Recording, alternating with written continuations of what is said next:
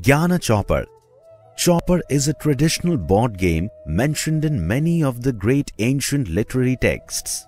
There are many versions of the game that's become known in the West as Snakes and Ladders. However, within an Indian context, the game's primarily an ancient method used to teach moral values and basic tenets of religious beliefs, all under the guise of entertainment.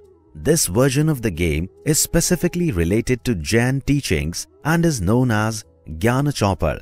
Gyan chaupars never vary. They have 84 numbered squares placed in a 9 down, 9 across pattern.